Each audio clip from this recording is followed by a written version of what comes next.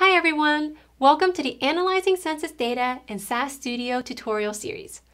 In the last video, I created a listing report that displayed the top five states by median household income within each geographical region.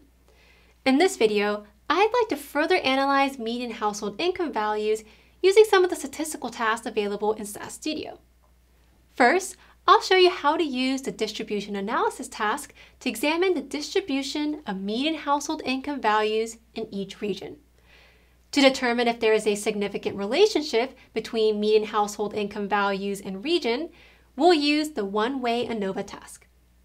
Finally, you'll see the correlation analysis task to examine the relationship between median household income values and other statistics, like mean hours worked per week and median monthly housing costs.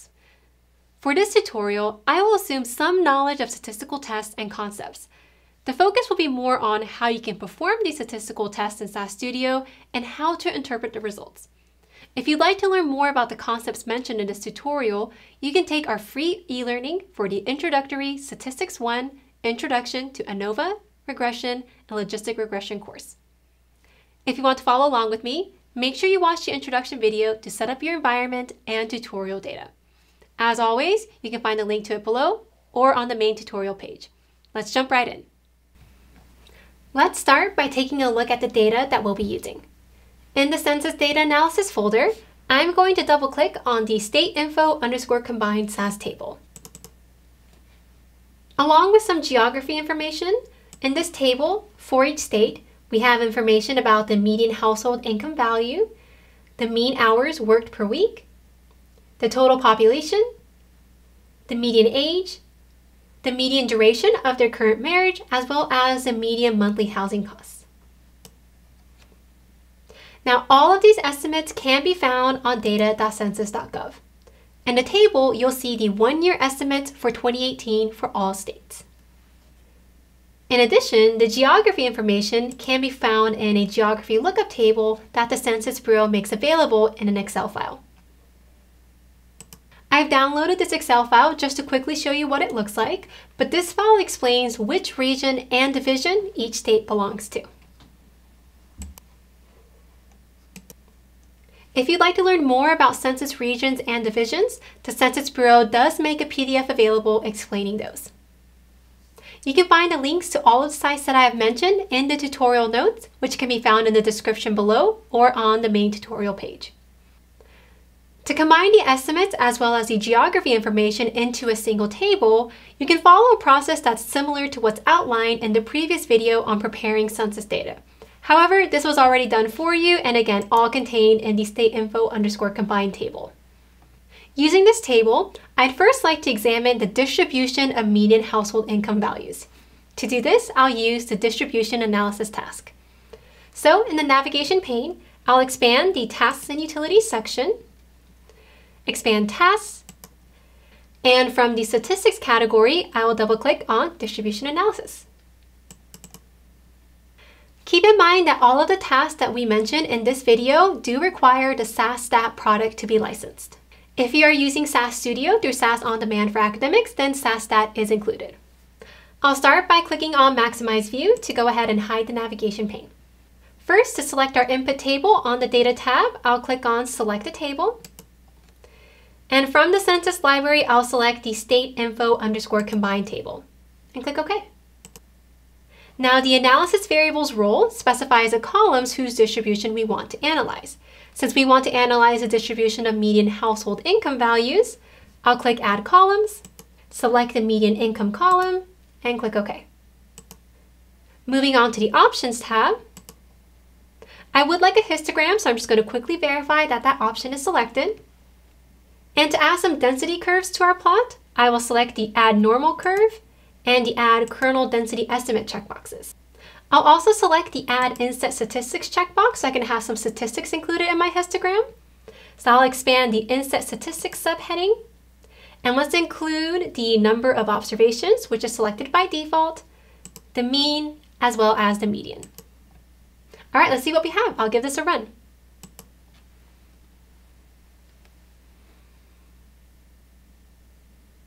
Taking a look at our histogram, the normal curve, which is in blue, outlines a normal distribution with the same mean and variance as our input data, state info underscore combine. The kernel density curve, which is outlined in red, outlines a smooth approximation of the distribution of our observed data. You'll notice that these two curves appear to be fairly similar, although the data is slightly right skewed. Taking a look at our statistics, you'll notice that the mean, which is roughly $62,000, is about $2,000 higher than the median, which is just under $60,000. Now I'd like to know if the distribution is different across different geographical regions. So going back to our Options tab, I'm going to take advantage of the Classification Variables role. This can be used to create separate histograms for each classification level. Because I'm interested to see if the distribution is different in each region, I'll click Add Columns and assign region to this role. Let's give it a run and take a look at the updated results.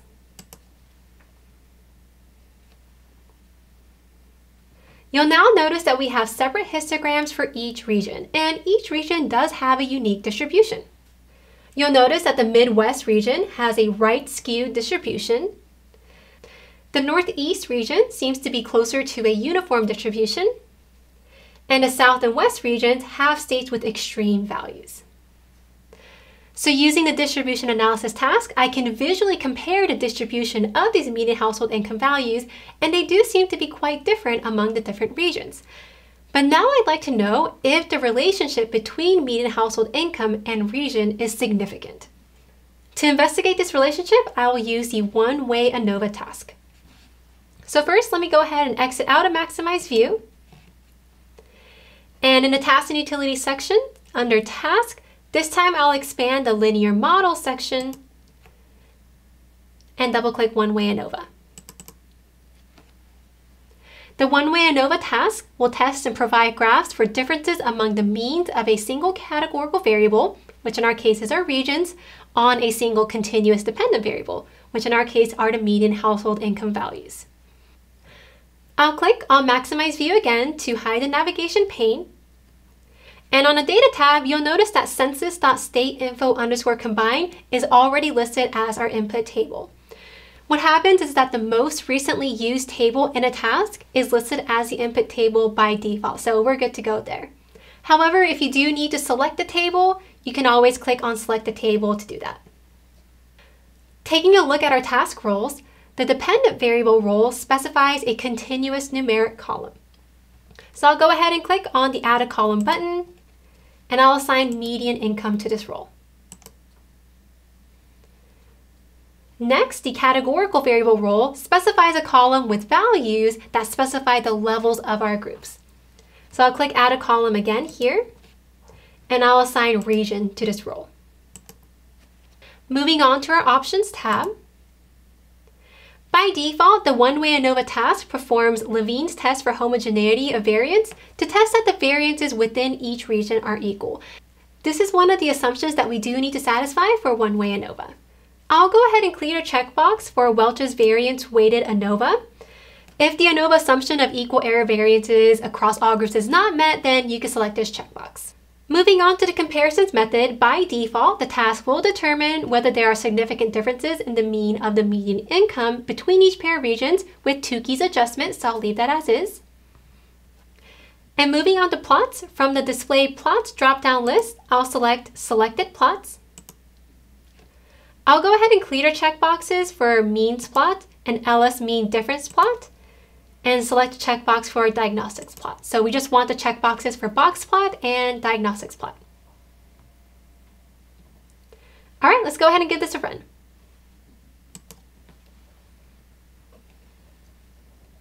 There are many parts to this output. I'm just going to point out a couple of portions. Taking a look at the overall analysis of variance table, you'll notice that the p-value is 0.0228, which is less than 0.05. What this means is that the test is significant.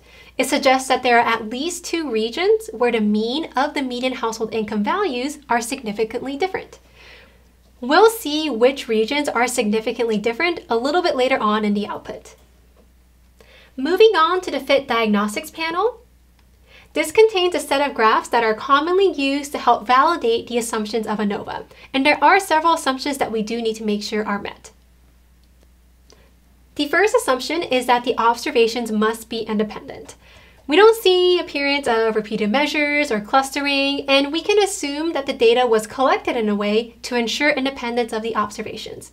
So the first assumption is met. The next assumption is that the errors are normally distributed. The first scatter plot on the second row of the fit diagnostics plot is a quantile-quantile or QQ plot. You'll notice that there is very little deviation from the reference line, so the residuals are normally distributed. We can also verify this using the first histogram on the third row of the fit diagnostics panel. This is our residual histogram, and this histogram displays a relatively normal distribution of the residual, so again satisfying our second assumption. The third and last assumption is that all groups have equal error variances. And this can be verified with Levene's test for homogeneity of variance, which is a little bit later on in the output. I'll scroll down to there. Notice that Levene's test returns a p-value of 0.1542, which is greater than 0.05. Therefore, the null hypothesis of equal variances fails to be rejected. So the assumption of equal error variances across all groups is met. So all of our assumptions for one-way ANOVA are met. Scrolling back up to our box plots, you'll notice that the box plot indicates that the Northeast region has the highest average regional median household income, and the South region has the lowest. You can hover over any of the boxes or whiskers to display a tooltip that has some more descriptive statistics if you're interested in that.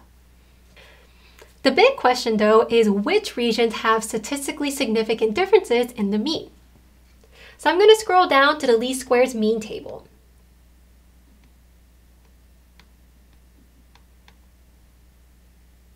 In the least squares mean table, first you'll notice that each region is assigned a number. So Midwest is 1, Northeast 2, South 3, and then West 4. Taking a look at the pairwise comparisons among all regions, notice the adjusted p-value of 0.0286 between regions 2 and 3, which correspond to the Northeast and South regions. With this value being less than 0.05, it indicates that the mean of the median household income values between those two regions are significantly different. The last thing that I'd like to do is determine whether there is any sort of relationship or correlation between median household income values and the other estimates and statistics that were included, like the mean hours worked per week or the median monthly housing costs. To do this, I'll use the correlation analysis task. So first, I'll exit out of Maximize View, bring back a navigation pane. And in the Tasks and Utilities section under Tasks, this is under the Statistics category, I'll double click on Correlation Analysis. Clicking on Maximize View again to hide the navigation pane. Again, notice that our input table is already listed as census.stateinfo underscore combined, so that's good to go. Moving on to our task roles, the analysis variables role lists the columns for which to compute correlation coefficients. So I'll go ahead and click on Add Columns. And I want to assign everything aside from median income. A quick trick is to first select mean hours worked, hold down the Shift key, and then select median monthly housing costs. This selects those two columns as well as all the columns that are in between. And click OK. Next, the correlate with role lists the columns with which the correlations of the analysis variables are to be computed. Because I want to determine the relationship between median household income values and the analysis variables, I'll click Add Columns and assign median income to this role. Moving on to the Options tab. Under the Plots heading, I'm going to use the Type of Plot drop-down list, and I'll select Individual Scatter Plots. These individual scatter plots will display the pairwise relationship between our analysis variables and median household income. Let's give this a run. Taking a look at our results, the Pearson correlation coefficients table displays the strength of a linear association between median household income and the potential predictor variables. The stronger the association between these two variables, the closer the Pearson correlation coefficient value will be to either negative 1 or 1, depending on whether that relationship is negative or positive, respectively. You'll notice that the Pearson correlation coefficient value between median household income values and median monthly housing costs is 0.93492. This indicates a strong positive linear relationship between those two variables as compared to the other pairs. In other words, the higher the median monthly housing costs, the higher the median income. We'll use a scatter plot to make sure and verify that that relationship is linear. So let's take a look at a couple of those scatter plots that were generated. These scatter plots will provide a visual of the relationship between median household income values and the analysis variables that we selected. First, taking a look at the scatter plot for median household income and mean hours worked per week, there doesn't seem to be any significant relationship between those two.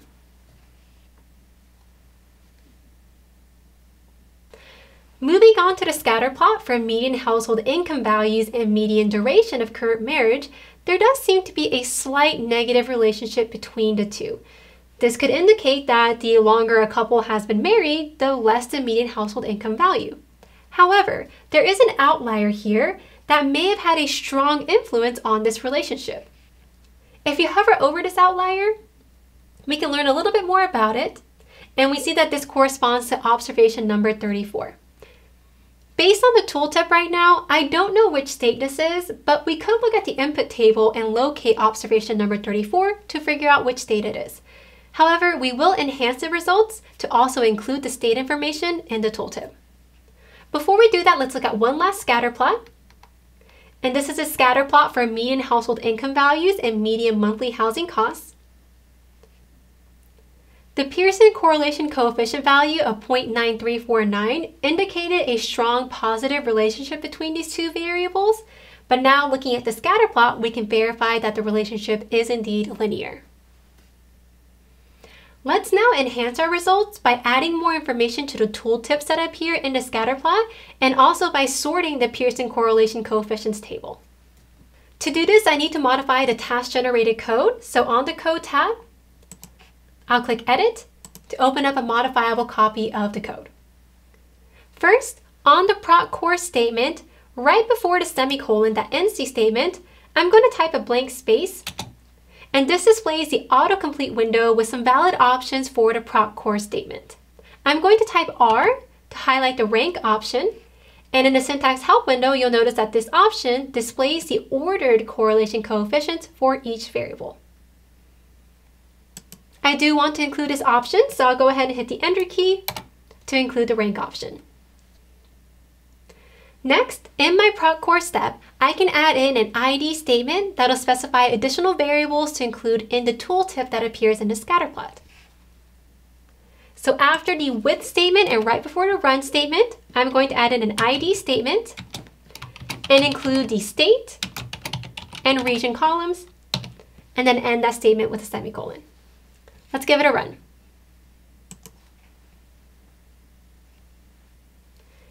Taking a look at our results, you'll now notice that the Pearson correlation coefficients table now displays the values in order from strongest to weakest in absolute value. And now let's take a look at our scatter plots. I'm going to scroll down to the scatter plot for median household income values and median duration of current marriage.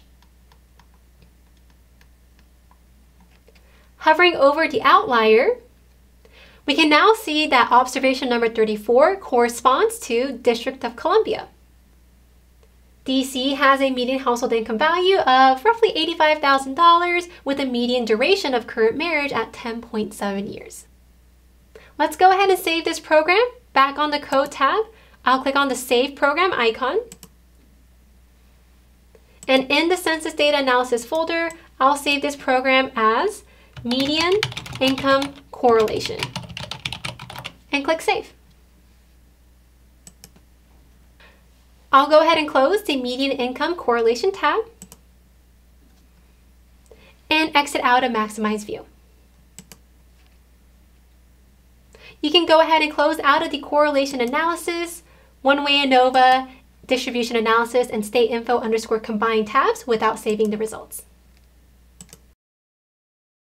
Now you know how to use several statistical tasks in SAS Studio to analyze census data. There are so many more statistical tasks available.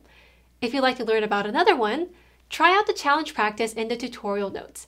It'll walk you through the linear regression task to predict median household income values based on the mean hours worked per week.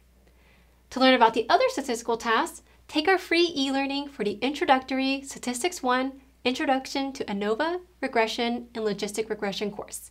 You can find a link below in the description or on the main tutorial page. Thanks for watching.